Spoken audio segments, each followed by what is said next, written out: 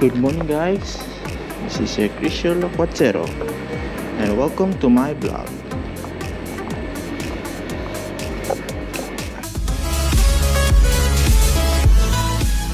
So for today's video, magsuscooter tayo papuntang trabaho. So isa ito sa mode of transportation ko papuntang trabaho. But uh, medyo matagal-tagal ko siyang hindi ginagawa ngayon kasi nga dahil sa summer dito tsaka mainit masyado kapag tanghali.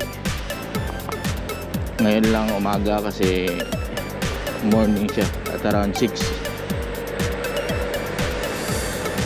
Time check 6.28 ng umaga dito sa Qatar. So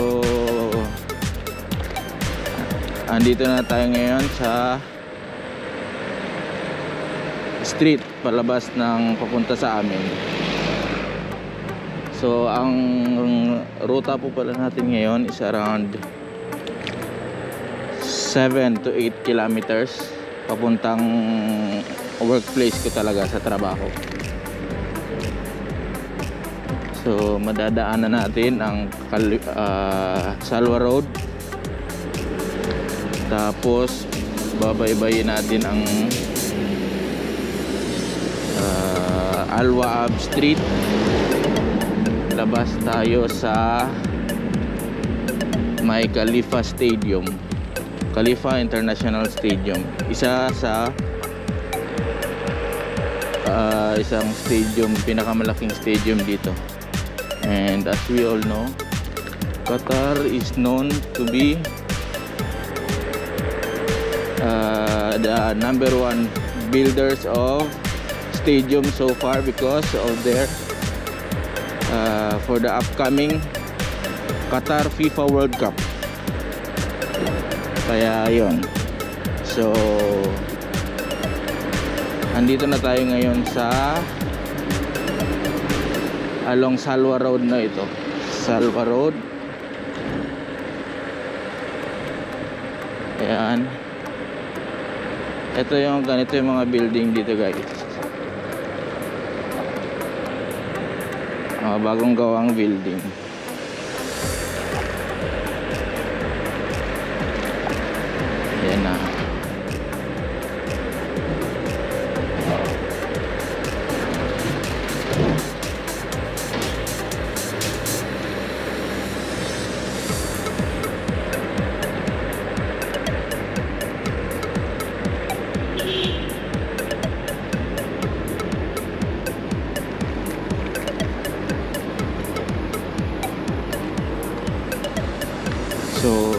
palabas na tayo ngayon ng Salwa Road. So, ito yung pinaka isa sa pinaka main road ng Qatar, ang Salwa Road. So, dadaan tayo ngayon sa kanilang designated bike lane. So, kahit saan dito sa Qatar, may designated bike lane. And uh, as we all know sa mga hindi nakakaalam, Qatar ang may hawak ngayon ng world record ng pinaka longest uh, bicycle lane in the whole world because of their uh, Oli- uh, Olympic bicycle lane na tinatawag nila. So we'll be doing separate vlog on that. Glalakwatsa tayo dito sa Qatar. Bago nga pala ituloy ang video, gusto ko lang sabihin sa inyo sa mga, sa mga baguhan pa dyan please like, share, subscribe and comment down below. And click the all notification bell for more upcoming videos. Shout out nga pala sa mga family ko dyan sa Pilipinas. Ayan, gusto kong ipakita sa inyo kung ano ang buhay dito sa Qatar. Masaya, masaya. Enjoy. Saka uh, medyo mahirap minsan pero kaya naman kailangan nating mag-obey ng traffic rules and regulation so since naka green siya hihinto muna tayo dito hihintayin natin. Pipindutin natin to. Ayan. Naghihintay tayo.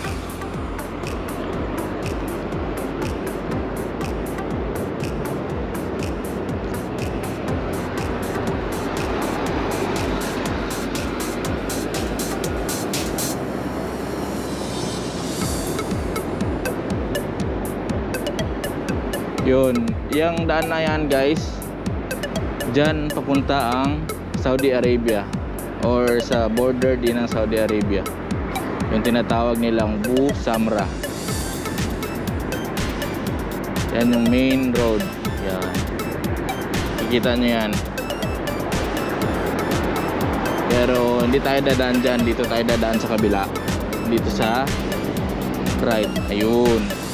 Ayan ay ang tinatawag na Alwaab Street.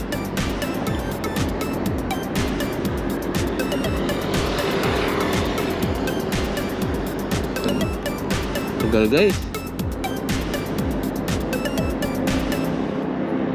Kaya problema.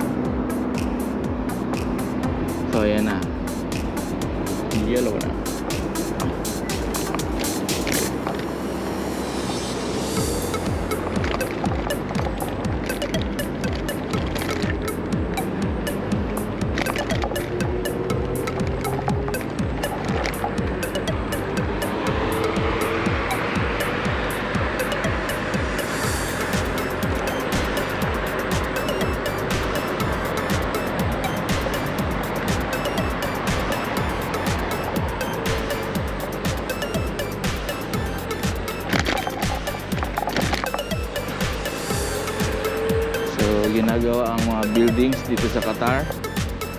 Todo prepare sila talaga para sa FIFA World Cup na gaganapin na ngayong next year.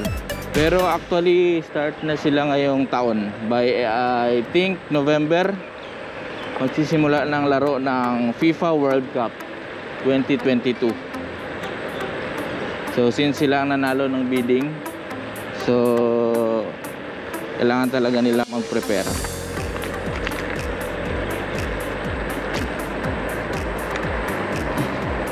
Ayan. So itong daan na to is along nasa Alwaab Street tayo ngayon. Yan yung designated bike lane nila kaso close pa. So dito din tayo dadaan mamaya doon sa dulo. Titingnan natin. Ayan.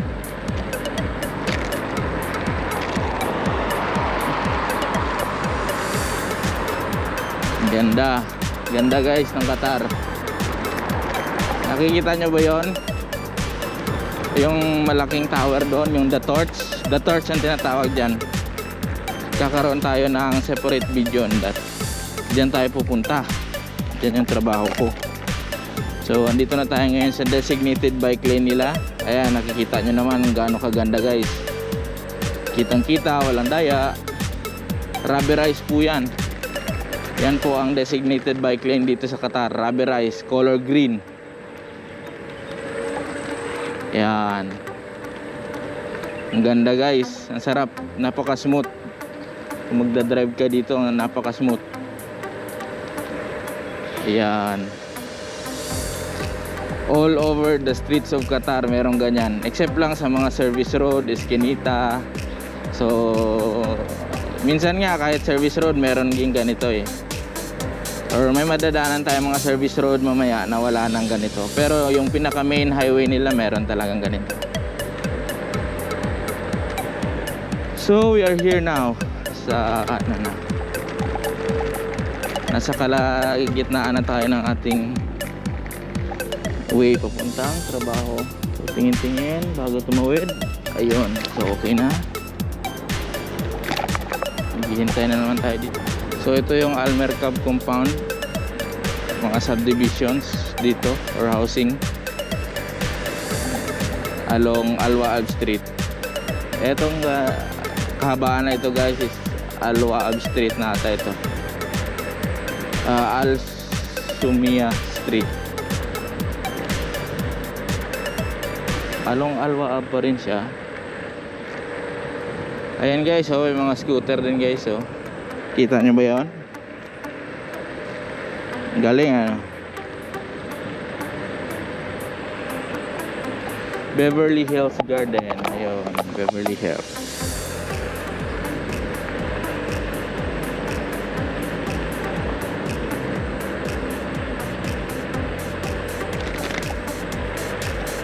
Ano lang takbing takbong chubby lang tayo guys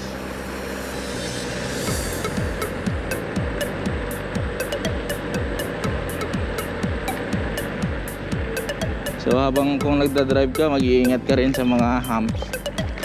Lalo na scooter ang dala mo.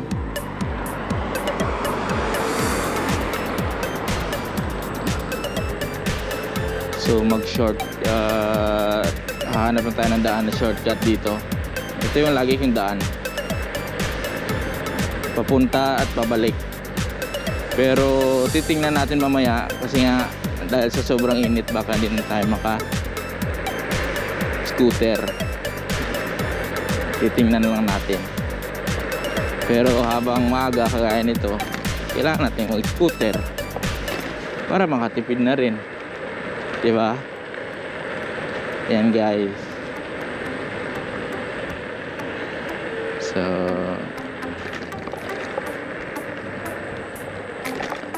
tingin-tingin sa exits. Baka may mga daan ganun dapat.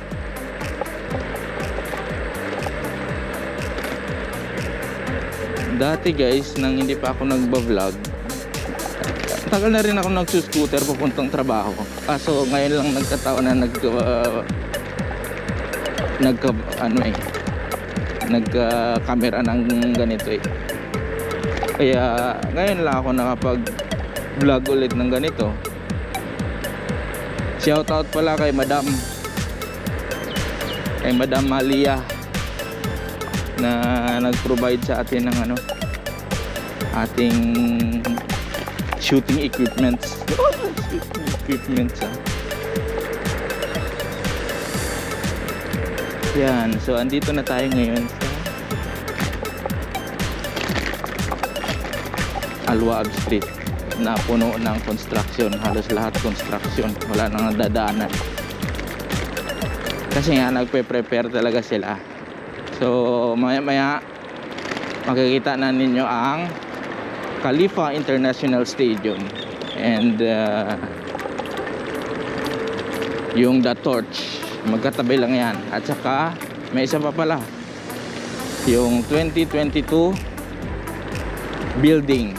Iconic 2022 building so ito the village resort. Hintayin din tayo dito.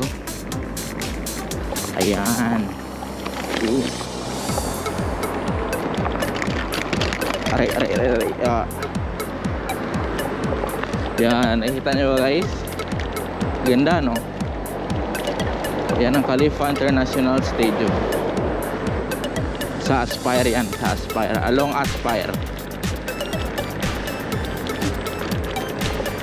so tatawid na tayo doon papuntang ito pala guys ang kanilang metro station. Gagawa din ako ng vlog niyan soon about metro stations. Trains here in Qatar. Ayan. Guys ganda no? Time check. 6.43 may time pa tayo. So yan ang Khalifa Stadium guys. Kita nyo ba ang ganda no Oh my God! As you know, ang Khalifa Stadium, dyan ginanap ang Asian Cup before. And uh, for the upcoming 2022 FIFA World Cup, Ewan ko, hindi pa sigurado kung meron talagang mga games din dyan. Kasi nga sa sobrang dami na nilang kinoconstruct na stadium ngayon sa Qatar. Siguro, siguro din. Meron din. Yan, ganda no.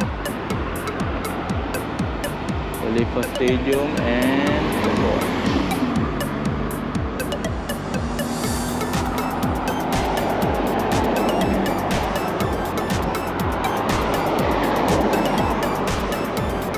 So ang Khalifa Stadium, napakalaking stadium yan. Nagawa tayo ng separate vlog niyan soon.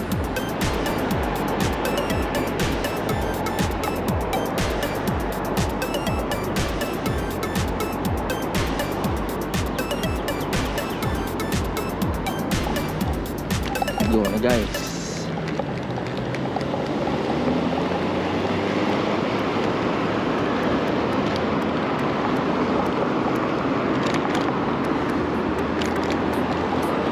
So ito yung metro station nila dito guys.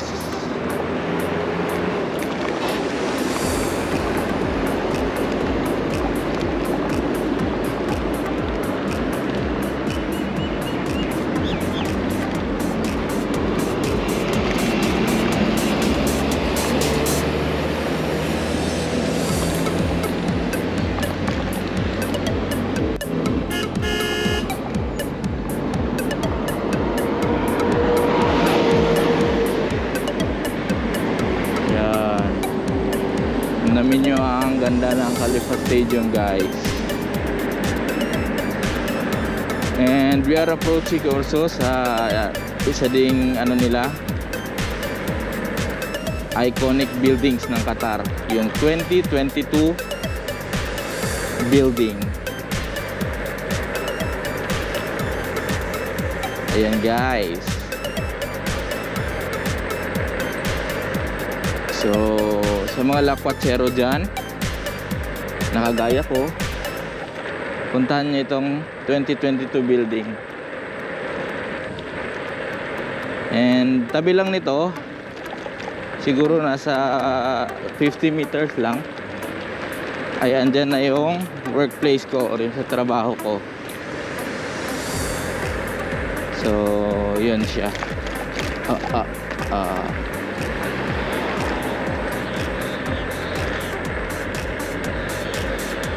Ayan guys. Yan ang iconic 2022 building. Ganda na. Yan.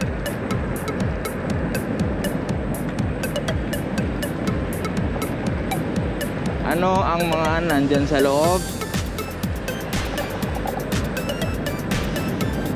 Mga tindahan. Soon gagawa tayo ng vlog para dyan sa iconic 2022 na yan. At hindi lang naman dyan sa iconic 2022 buildings tayo gagawa ng vlog. Siyempre, maglalakwat sa din tayo sa buong Qatar. Kaya samahan nyo ako guys. Sa mga hindi pa nakasubscribe, please subscribe to my channel. Comment down below also kung saan nyo gustong pumunta tayo. Saan tayo gustong pumunta. So, andito na ako guys sa aking pinagtatrabuhan. Itong building na ito guys. Yan. Yun oh. Woohoo! Yan guys ang building namin. Ito. Kikita nyo yan mamaya. Kailangan ko munang mag. So, andito na tayo guys. Tanggal nito. And then, ito. Ito. Eu